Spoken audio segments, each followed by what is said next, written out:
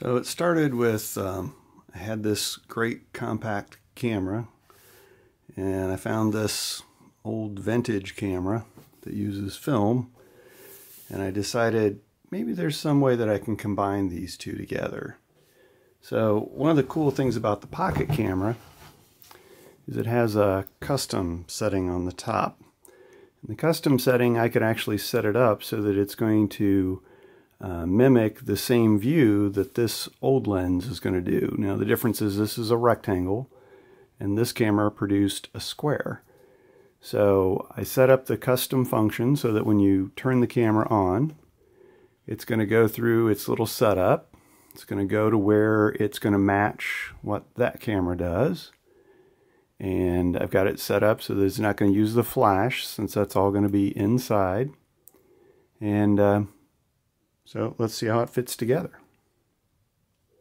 Turn that off. Take this film camera and we're going to move it to the side. And we're going to bring in the modified version. So with this camera, I gutted it, basically took the lens out, uh, got an opening there, so we've got this little tightening mechanism down below and that's going to fit into the quarter inch thread on the bottom of the camera.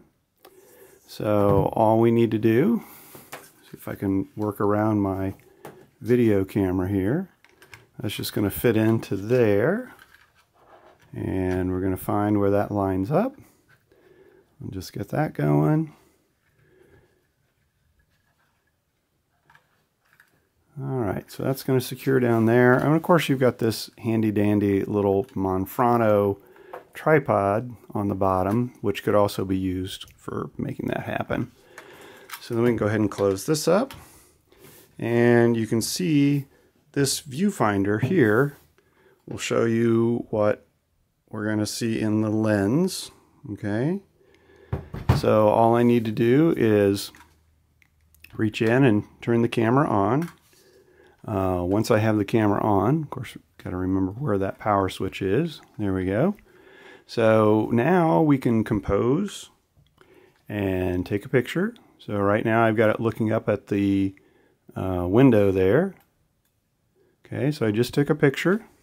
And now, if I needed to review it right away, I can just come to the back of the camera here and push the little review and voila.